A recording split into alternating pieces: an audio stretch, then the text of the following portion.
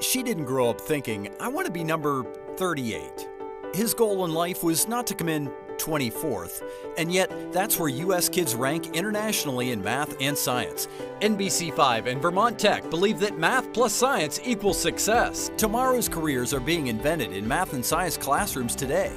Parents, encourage your child to become excited about a STEM related career. It's simple math plus science equals success. I won't thank you now. But I will thank you.